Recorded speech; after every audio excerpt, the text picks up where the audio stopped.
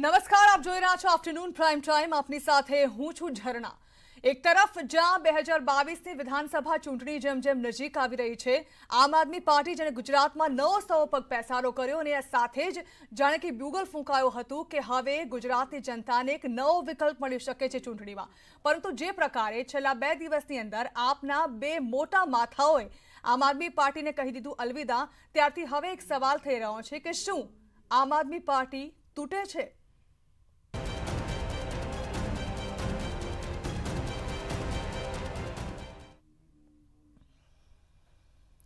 તો આ તરફ આમ આદમી પાર્ટીના નેતા ઈશુદાન ગઢવીએ કર્યો છે મોટો દાવ. તેઓએ કહ્યું છે કે ભાજપના મોટા નેતા અમારા સંપર્કમાં છે. ન્યૂઝ એટીન ગુજરાતી સાથેની વાતચીતમાં ઈશુદાન ગઢવીએ દાવો કર્યો છે કે અત્યારે મારે કોઈ ખેલ નથી કરવા, નહીં તો ભાજપના મોટા નેતાઓ મારા સંપર્કમાં છે. સાથે જ તેમણે કહ્યું કે સમય આવે, ભાજપને પણ રંગ દેખાડીશું.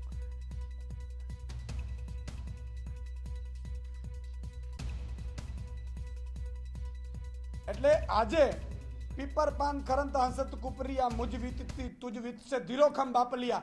ભાજપ પોતે પણ સમજી લે. અત્યારે તો મારે કંઈ કરવા નથી ખેલ. બાકી ભાજપના મોટા નેતા મારા સંપર્કમાં છે. નથી એવું નથી? અને સમય આવે. મને લાગ્યું કે ગુજરાતની જનતા માટે આ બે ફીટ બેસશે. તો ભાજપને રંગ દેખાડીશું. ટાઈગર અભી જિંદા હે.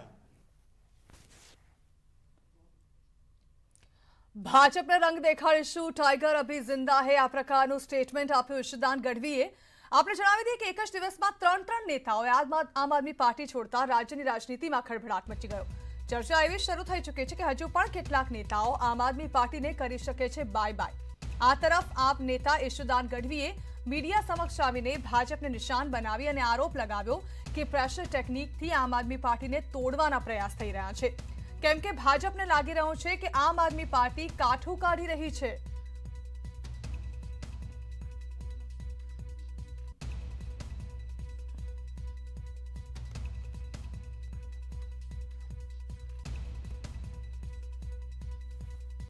મારે દુઃખ સાથે કહેવું પડે છે કે બંને મારા, અમારા મિત્રો, સાથી મિત્રો, એ બંને આમ આદમી પાર્ટી છોડવાનું નક્કી કર્યું. એના વ્યક્તિગત નિર્ણયો હોઈ શકે છે. પણ આમ આદમી પાર્ટીના એક સનિષ્ઠ કાર્યકર્તા તરીકે હું બંને એ ક્રાંતિવીરોનું અત્યાર સુધી આમ આદમી પાર્ટીમાં જેટલો પણ એમણે સાથ આપ્યો છે, એમણે સમય આપ્યો છે, તન મન ધનથી ખૂબ બંને જણાએ મહેનત કરી છે. એ બંનેને મહેનતને અત્યાર સુધી સાથ આપ્યો લાખ લાખ અમે શુક્રિયા અદા કરીએ છીએ. ખબર છે કે આમ આદમી પાર્ટી કાઠું કાઢે છે? કમલમ ઘેર્યું. એને ખબર છે કે આમ આદમી પાર્ટી આવતીકાલે અમારા પેપર ફોરના તળિયા સુધી જશે. એટલે ડરી ગઈ. એટલે અમને બદનામ કરવાના, અમારા લોકોને તોડવાના, અમારા લોકોને બેસાડી દેવાના. તમે શું કરો છો? તમે ઇન્કમ ટેક્સ ન પહોંચાડી શક્યા ઈડી ન પહોંચાડી શક્યા. તો તમે મને બદનામ કરવા માટે શું શું કર્યું? આ ગુજરાતની જનતાનું કહું છું, ફરીથી કહું છું કે હું મા મોગલના સોગંદ ખાઈ નહીં મારે પ્રાણના સોગંદ ખાઈને કહું છું કે મેં દારૂ નહોતો પીધો. છતાંય રિપોર્ટ પોઝિટિવ લાવ્યા. છતાંય બદનામ કરવાની કોશિશ કરી. અને હજી, ભાજપના મારે એક એક નેતાને કહેવું છે કે એક એક કાર્યકર્તાને તમારે થાય એટલી તમે કોશિશ કરજો. હું તો મારું પ્રાણ છોકવા આવ્યો છું એમ કહું છું. મને દારૂનો કેસ કર્યો. આવતીકાલે મારા ઉપર બીજા ષડયંત્રોના કેસ કરો. તો હું તો એમ કહું છું, એના કરતાં ભાજપમાં જો દમ હોય, તો શૂટરો મળે છે બહુ સસ્તામાં. પાંચ પાંચ લાખમાં શૂટર મળે છે. મને મરાવી નાખો. ન બજેગી બાંસ ન બજેગી બાંસુરી.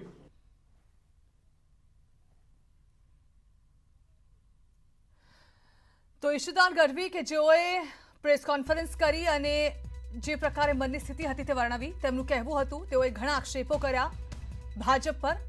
તેમનું કહેવું છે કે શામ દામ દંડ ભેદની નીતિ અપનાવીને ભાજપ દ્વારા આમ આદમી પાર્ટીના નેતાઓને તોડવાની કોશિશ કરવામાં આવી રહી છે.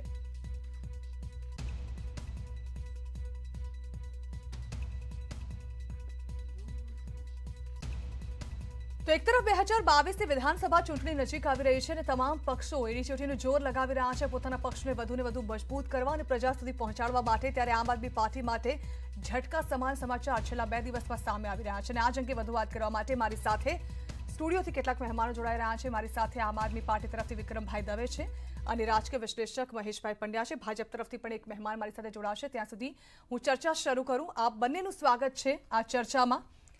સૌથી પહેલા વિક્રમભાઈ, જે પ્રકારે આમ આદમી પાર્ટીમાં એક ભૂકંપ જેવી પરિસ્થિતિ સર્જાઈ ગઈ. ચોક્કસથી એક લોકલાડીલા ગાયક હતા અને એક લોકોની વચ્ચે જઈને રહેનારા નેતા. આ બંનેના જવાથી ચોક્કસથી આમ આદમી પાર્ટીને ફટકો પડશે. આજે ઈશુદાન ગઢવીએ પણ જે પ્રકારના નિવેદનો આપ્યા છે તેનાથી તેઓ પણ ખૂબ જ દુઃખી અને વ્યથિત હોય તેવું લાગી રહ્યું છે. તેઓએ એટલે સુધી કહી દીધું કે ભાજપ શામદામ દંડભેદની નીતિ અપનાવે છે. આપની શું છે પ્રતિક્રિયા? ઝરણાજી મારે આ તબક્કે ખાસ આપને ધ્યાન દોરવું છે કે આમ આદમી પાર્ટી છે ને જેમ નામ સૂચવે છે કે સાધારણ માણસોની પાર્ટી છે. આમ આદમી પાર્ટી એટલે અહીંયા કોઈ નેતા નથી. આમ આદમી પાર્ટી એટલે આંદોલન છે. આમ આદમી પાર્ટીનો જન્મ જ આંદોલનથી થયો છે અને ગુજરાતમાં આવી છે તો ગુજરાતના વિદ્યાર્થીઓને શું તકલીફ છે? એને કેવી રીતે એના પ્રશ્નોને ઉજાગર કરવા જ્યાં કોઈ તંત્રમાં ખોટું થતું હોય તો એ ઉજાગર કઈ રીતે વેપારીઓને શું તકલીફ છે? તો એના પ્રશ્ન કઈ રીતે ઉજાગર કરવા? ખેડૂતોને શું તકલીફ છે? તો એના પ્રશ્ન કઈ રીતે ઉજાગર કરવા? એના પ્રશ્નો ઉજાગર થયા પછી પણ એના પ્રશ્નોનું સોલ્યુશન ન આવે. તો ઇવન જેલમાં જવા સુધીની તૈયારી સાબરમતી જેલ ભરોની પણ તૈયારી આમ આદમી પાર્ટીની છે.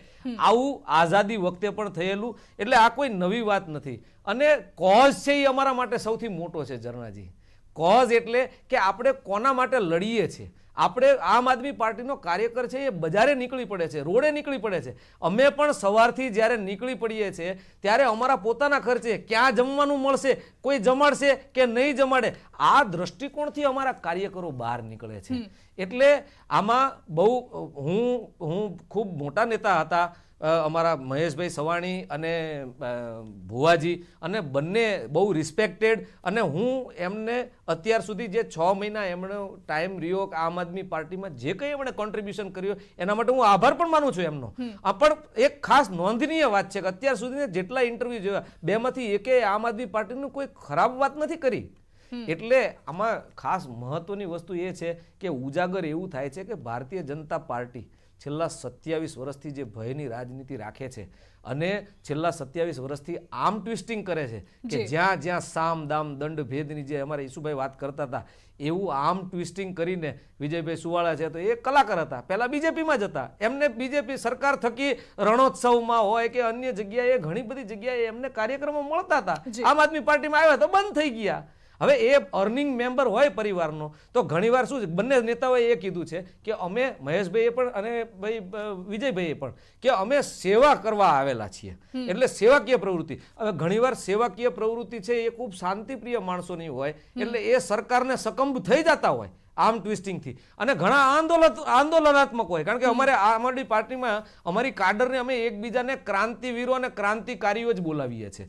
સાથીઓ નથી બોલાવતા. એટલે કારણ કે અમે ખરેખર લડવા જ આવ્યા છીએ. અમે રાજનીતિનો ચહેરો ગુજરાતનો બદલવા આવ્યા છીએ. ગુજરાતનો કારણ કે જો સત્યાવીસ વર્ષથી ભારતીય જનતા પાર્ટીની સરકાર માથે બેઠી છે? અને આની સામે લડવા નીકળ્યા જેને કોંગ્રેસ સત્યાવીસ વર્ષથી પહોંચી નથી શકી. તો શું અમને નહીં ખબર હોય કે અમને જેલમાંય નાખી દેશે અમારા ઉપર ખોટા કેસે કરશે? એ બધી તૈયારી સાથે આમ આદમી પાર્ટીમાં આવ્યા છે પછી કોઈને આ વસ્તુ અનુકૂળ ન પડતી હોય તો ખસી જાય. પણ ખરેખર આમ આદમી પાર્ટીનો કાર્યકર. અને એની કાડર તો ત્યાં જ છે. એ આંદોલનાત્મક લોકો ત્યાં જ છે કોઈ ફેર નથી પાર્ટી હજી પણ વિક્રમભાઈ. સોરી મનથી ભાંગી નથી મતલબ આમ આદમી પાર્ટી હજી પણ. બિલકુલ નહીં બિલકુલ નહીં. અમારું અમારું અમારી લડત બહુ ક્લિયર છે કે ગુજરાતના પ્રશ્નો અમારો એક એક રાજનૈતિક રીતે આંદોલનાત્મક રીતે ગુજરાતને બિલ્ડઅપ કઈ રીતે કરવું રાષ્ટ્રનું નિર્માણ કઈ રીતે કરવું લોકતંત્રની મજા જ એ છે. ખરેખર લોકતંત્રની મજા જ એક સાધારણ માણસ છે એ પણ પોતાનો અવાજ ઉપાડી શકે. પણ ભારતીય જનતા પાર્ટીની ભયની રાજનીતિના હિસાબે સાધારણ માણસનો અવાજ દબાઈ ગયો હતો. એ અવાજ છે આમ આદમી પાર્ટીનો છે. જી. મહેશભાઈ બે હજાર બાવીસની ચૂંટણી એટલે હવે તેવું કહી શકાય કે એક વર્ષ પણ નથી રહ્યું. આ વર્ષે ગમે ત્યારે બે હજાર બાવીસમાં ચૂંટણી યોજાશે. એટલે હવે સ્વાભાવિક છે કે આપણને આવા ઘણા બધા નાના મોટા રાજકીય ઉથલપાથલ જોવા મળશે જ. એટલે હવે તો આ ખૂબ જ સામાન્ય બની જશે. પરંતુ એક તરફ આમ આદમી પાર્ટી કે જે નવી સવી ગુજરાતમાં ઉગી રહી હતી. હું એ વખતની લોકસભાને નો ઉલ્લેખ નહીં કરું પરંતુ આ વખતે તો જોરો શોરોથી આમ આદમી પાર્ટીએ પ્રચાર કર્યો અને આ વખતે તે મૂડમાં પણ દેખાય પરંતુ જે નેતાઓ ગાજ્યા તે હવે વરસ્યા નહીં અને અચાનક જ તેઓએ આમ આદમી પાર્ટીનો સાથ છોડી દીધો તેવું કહી શકાય. ત્યારે આપને શું લાગે છે કે આમ આદમી પાર્ટીને તેનાથી મોટો ઝટકો અને ભાજપને ફાયદો? મને એવું લાગતું નથી બહુ. કારણ કે વેલ પ્લાન હતું વેલ ડિઝાઇન હતું. અને હોને હી વાલા હતા. ક્યારે થવાનું હતું એ નક્કી નહોતું. પરંતુ જે રીતે પાર્ટીમાં ભારતીય જનતા પાર્ટીના ચાલુ મંત્રીઓ પણ સમાજવાદી પાર્ટીમાં જોડાયા. અને એની ખરાબ અસર પડી. અને એટલા માટે એ કહેવાની બહુ જરૂર હતી કે જો આમ આદમી પાર્ટીના લોકો પણ હવે ભારતીય જનતા પાર્ટીમાં જોડાય છે. એટલે બેલેન્સ કરવાની આ વાત કરી છે. બાકી તો નરેશ સવાણીને ખબર નહોતી કે ભારતીય જનતા પાર્ટી સામે લડવું એટલે આઈટી ના દડા પણ પડી શકે. આઈબી ની રેડ પણ પડી શકે અને બીજું બધું પણ થાય. એટલે મોડે મોડે ભ્રમ એને એવું લાગતું નથી પણ એ બાય ડિઝાઇન લાગે છે. એ જ રીતે આટલા બધા અનુભવના અંતે પણ મહેશભાઈ સુવાળા એટલા સુવાળા નથી કે એમને ખબર ના પડે કે ભારતીય જનતા પાર્ટીની સામે લડવાથી શું થાય. પણ આ બધું વેલ પ્લાન છે વેલ ડિઝાઇન છે અને એટલે કઈ નવું નથી લાગતું મને કે આ થઈ રહ્યું ભાઈ. અને જેના તમે જે કે ડિસેમ્બર બે હજાર બાવીસમાં ચૂંટણી તો મને જરા વહેલી લાગે છે. યુપીના ઇલેક્શનના પછી તરત જ કોઈ બીજી અણસાજતી ઘટના ઘટે. એ પહેલા કદાચ મે મહિનામાં ગરમી શરૂ થાય એ પહેલા મે મહિનામાં ઇલેક્શન પૂરું થઈ જાય ગુજરાતનું એવી શક્યતાઓ પણ હું જોઈ રહ્યો છું આ બધી ઘટનાઓના લીધે. જી. અને આ સાથે જ આપણી સાથે ભાજપ તરફથી ઋત્વિજભાઈ પટેલ પણ જોડાઈ ગયા છે. ઋત્વિજભાઈ, આપે પણ ઈશુદાન ગઢવીની પ્રેસ કોન્ફરન્સ સાંભળી હશે. ભાજપ શામ દામ દંડ ભેદની નીતિ અપનાવી રહ્યું છે આમ આદમી પાર્ટીના નેતાઓને તોડવા માટે. સૌથી પહેલા તો આપ આ વાત સાથે સહમત છો ખરા? હું સંમત નથી. હતાશ થઈ ગયેલી, નિરાશ થઈ ગયેલી, પોતાની કોઈ જમીન નથી. અને ગુજરાતની પ્રજા વચ્ચે જઈને એક પ્રયોગ અને અખતરો કરવા માટે નીકળેલી આમ આદમી પાર્ટીને જ્યારે ગુજરાતની પ્રજાએ સદંતર જાકારો આપ્યો છે ત્યારે અત્યારે આમ આદમી પાર્ટી બિલકુલ હતાશ અને નિરાશ છે. તેમના પોતાના નેતાઓ તેમના પોતાના કહેવાતા પ્રાદેશિક નેતાઓ પણ આમ આદમી પાર્ટીને છોડીને જઈ રહ્યા છે. વિજયભાઈ સુવાળા ગઈકાલે ભારતીય જનતા પાર્ટીમાં જોડાયા. બીજા એક મહિલા નેતા જેઓ અમદાવાદના પદાધિકારી હતા તેઓ પણ ભારતીય જનતા પાર્ટીમાં જોડાયા. મહેશભાઈ સવાણીએ પોતે રાજનીતિમાંથી નિવૃત્તિ લેવાની વાત કરી સેવાના માર્ગે વળવાની વાત કરી. એટલે કુલ મળીને આમ આદમી પાર્ટીનો સાથ એમના નેતાઓ જ્યારે છોડી રહ્યા હોય ત્યારે સ્વાભાવિક રીતે પ્રજા તો એમની સાથે ન હોય. ત્યારે. પોતાનું ફેસ સેવિંગ કરવા માટે પોતાનો બચાવ કરવા માટે આ પ્રકારના આક્ષેપો ઈસુદાનભાઈ લગાવે. એને હું બિલકુલ સસ્તી પ્રસિદ્ધિ મેળવવા માટે અને એક ફેસ સેવિંગ કરવા માટેનો પ્રયોગ ગણું છું. હું આપના ચેનલના માધ્યમથી જણા એ કહેવા માંગુ છું કે એમના પ્રદેશના અધ્યક્ષ ગોપાલભાઈ ઇટાલિયા. તો એમનો જો તમે ભૂતકાળ જુઓ તો પૂર્વ ગૃહમંત્રી પ્રદીપસિંહજી જાડેજા પર જૂતું ફેંકવાની વાત હોય કે પૂર્વ નાયબ મુખ્યમંત્રી શ્રી નીતિનભાઈ પટેલ સાહેબ સાથે અસભ્ય વર્તન કરવાની વાત હોય કે પછી કથાકારો માટે એલફેલ બોલવાની વાત હોય. અને ઈશુદાનભાઈ ગઢવી કે જેમનો એફએસએલ રિપોર્ટ પોઝિટિવ આવ્યો કે જો પીધેલાની સ્થિતિમાં આવીને કાર્યાલય પર તોડફોડ કરે ત્યાં અશોભનીય વર્તન કરે. એટલે કે આમ આદમી પાર્ટીના નેતાઓનું ખરડાયેલું ચરિત્ર એમની નીતિ રીતિ એમનો વાણી વિલાસ આ જોઈને આજે કોઈ પણ સારો વ્યક્તિ જે રાજકારણમાં આવવા માંગતો હોય પક્ષની વાત છોડી દઈએ પરંતુ જે જાહેર જીવનમાં આવવા માંગતો હોય એવો કોઈ પણ સારો વ્યક્તિ આમ આદમી પાર્ટીને પસંદ ન કરે એ પ્રકારના પૂરતા કારણો એ ગોપાલભાઈ ઇટાલિયા હોય કે ઈસુદાનભાઈ ગઢવી હોય એમણે. ગુજરાતની પ્રજાને આપી દીધા છે.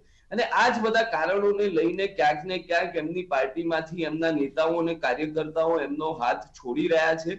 ભારતીય જનતા પાર્ટીને. કોઈ પ્રકારની એવી આવશ્યકતા નથી કે જેનાથી એને પ્રેશર ટેક્ટિક્સ ઊભી કરવી પડે કે એને કોઈ સામ દામ દંડ ભેદની નીતિ અપનાવવી પડે. ભારતીય જનતા પાર્ટી ખૂબ સુંદર રીતે કેન્દ્રમાં પણ કામ કરી રહી છે. ખૂબ સુંદર રીતે ગુજરાતમાં પણ કામ કરી રહી છે. આદરણીય નરેન્દ્રભાઈ મોદી સાહેબ આદરણીય અમિતભાઈ શાહ સાહેબ ગુજરાતમાં આદરણીય ભૂપેન્દ્રભાઈ પટેલ આદરણીય સી આર પાટીલ સાહેબ આ બધા જ નેતૃત્વના માર્ગદર્શન હેઠળ ભારતીય જનતા પાર્ટી ખૂબ સારી રીતે આગળ વધી રહી છે. ત્યારે ભારતીય જનતા પાર્ટીને કોઈ શામ દામ દંડ ભેટ કે પ્રેશર ટેકનિક્સ અપનાવવાની જરૂર નથી. આ સમય છે કે આત્મચિંતન કરવાનો એ આમ આદમી પાર્ટી માટે ગુજરાતની પ્રજાએ તો એમને જાકારો આપ્યો હતો પણ એમના જ કાર્યકર્તાઓ અને નેતાઓ પણ પાર્ટી છોડી રહ્યા છે. એટલે આમ આદમી પાર્ટીએ પોતાનું આત્મચિંતન કરવું બિલકુલ વિક્રમભાઈ આત્મચિંતનની જરૂર છે કારણ કે એક તરફ જ્યાં નેતાઓ જ ખુદ આમ આદમી પાર્ટીને છોડીને જઈ રહ્યા હોય ત્યારે લોકોને કઈ રીતે વિશ્વાસ અપાવશો? મોટી ચેલેન્જ ઊભી થઈ જશે આપના માટે. ઝરણાજી કાર્યકરો છે એ ત્યાં ને ત્યાં છે. બે નેતા જે ભારતીય જનતા પાર્ટીના હતા. જે લોકો છ મહિના પહેલા આમ આદમી પાર્ટીમાં આવ્યા હતા. એ લોકો પોતે એમ કે છે કે એટલે વાત મારી વાત એટલી જ છે કે આજે આજે આમ આદમી પાર્ટી પંજાબમાં ત્યાં સર્વેજ એમ કહે છે કે પંજાબમાં કદાચ સરકાર બનાવશે આમ આદમી પાર્ટી. ત્યાં તમે મને પાંચ નેતાઓના નામ આપો. આ પાર્ટી છે. તમે દસ નેતાઓ દિલ્હીમાં છેલ્લા પંદર વર્ષ બાર વર્ષથી સરકાર છે, અગિયાર વર્ષથી તો એમાં પાંચ નેતાઓ, દસ નેતાઓના નામ આપો, એક સાથે. નહીં આપી શકો, આ પાર્ટી છે એ નેતાઓની છે જ નહીં.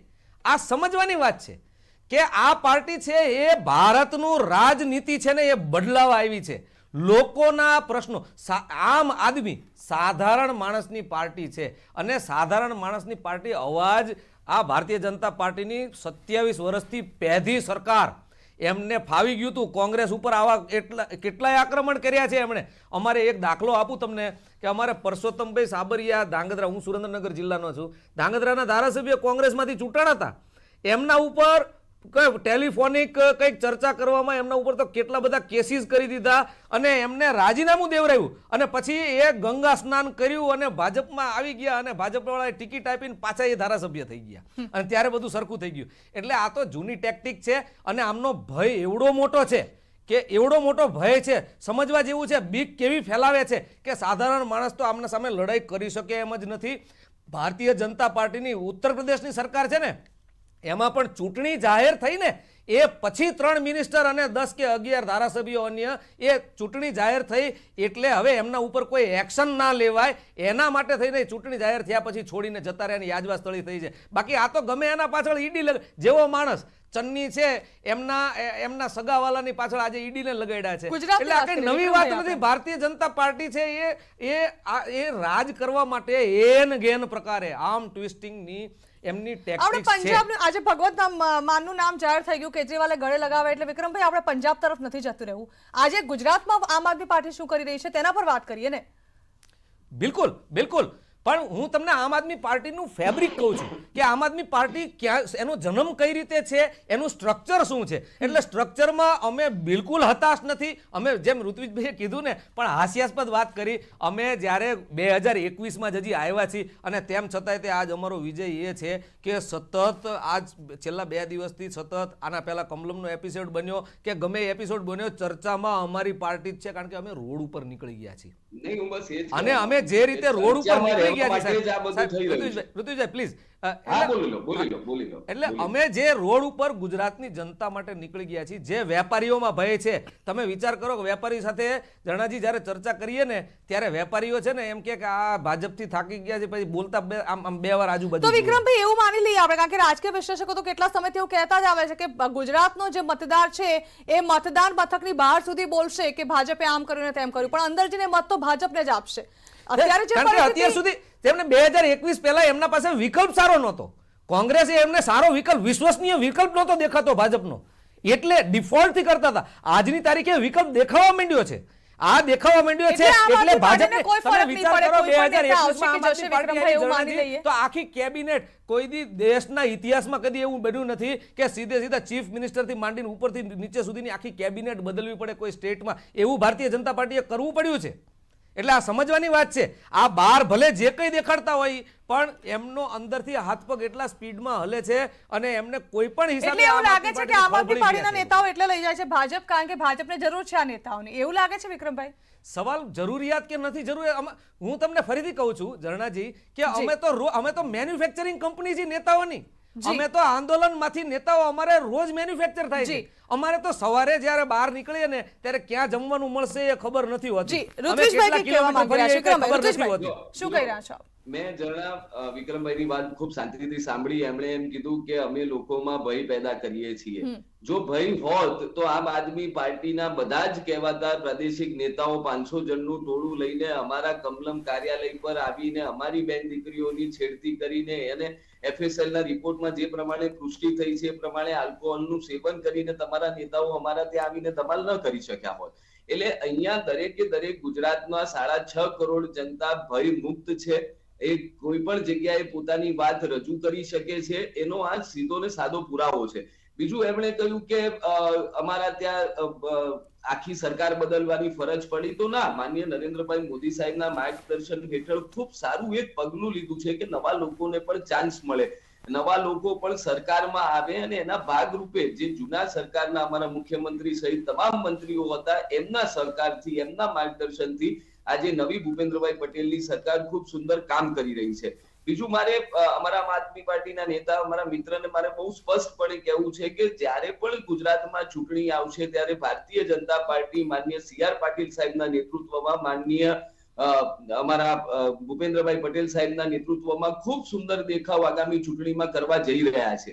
કેમ કે આ કેન્દ્રમાં જે રીતે આદરણીય નરેન્દ્રભાઈ મોદી સાહેબ અને આદરણીય અમિતભાઈ શાહ સાહેબની સરકાર લોકાભિમુખ કામ કરી રહી છે એ જ રીતે એમના માર્ગદર્શનમાં ગુજરાતમાં પણ અનેકવિધ કામો થઈ રહ્યા છે. એટલે અમારે બિલકુલ કોઈ આવશ્યકતા નથી કે અમારે આમ આદમી પાર્ટીના કાર્યકર્તાઓ કે અન્ય કોઈ પણ પાર્ટીના કાર્યકર્તાઓને સામદામ દંડ ભેદની નીતિથી તોડવા પડે. અમારી પોતાની જ પાર્ટીનું સ્ટ્રક્ચર છે પેજ કમિટી સુધી ખૂબ મજબૂત છે.